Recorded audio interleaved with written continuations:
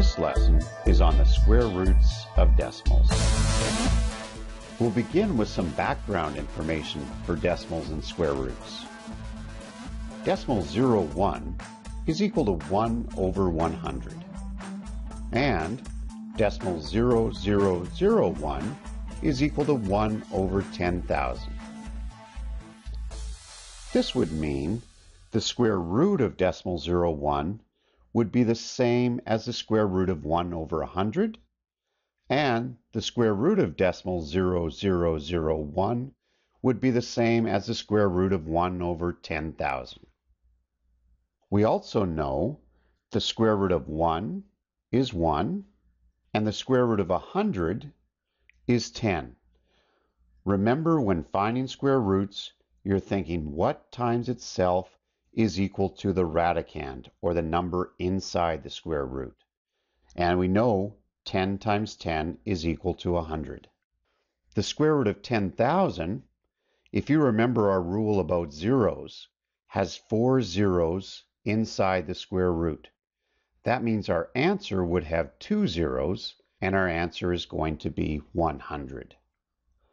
If we put all this information together, we can get the square root of 1 over 100 is 1 over 10, and the square root of 1 over 10,000 is 1 over 100.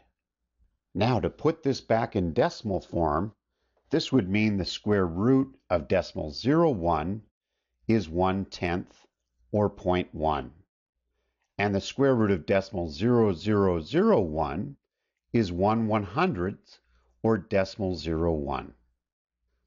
When taking the square roots of decimals, notice when we have two decimal places inside the square root, we have one decimal place in our answer.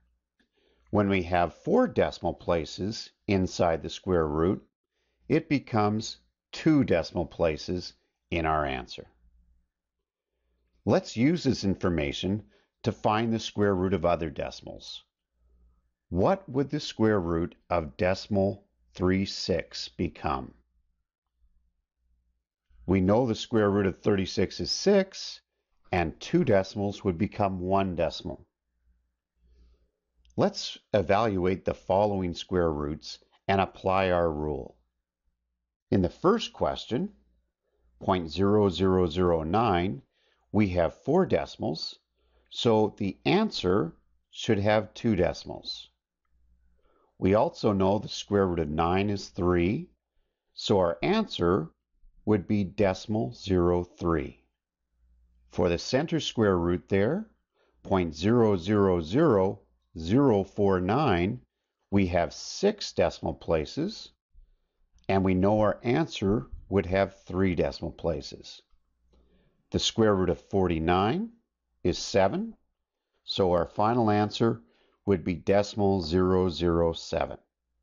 In our last question, the square root of decimal 0144, we have four decimal places. Our answer will have two decimal places.